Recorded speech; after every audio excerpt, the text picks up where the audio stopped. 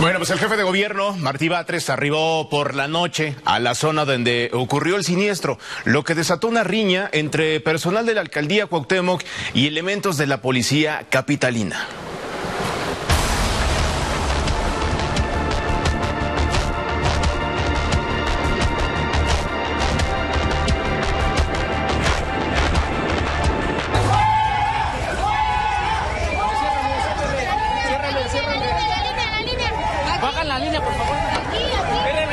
Hemos estado al tanto de todo el proceso desde el principio.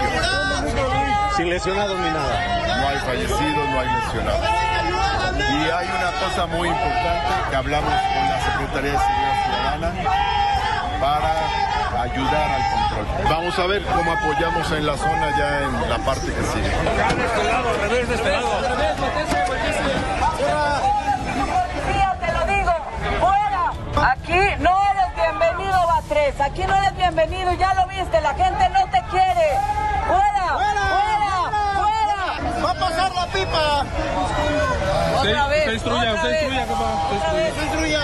Instruya. Otra vez. O nos van a- o nos van a pegar. ¿o qué? ¡Dejen pasar! ¡Dejen pasar!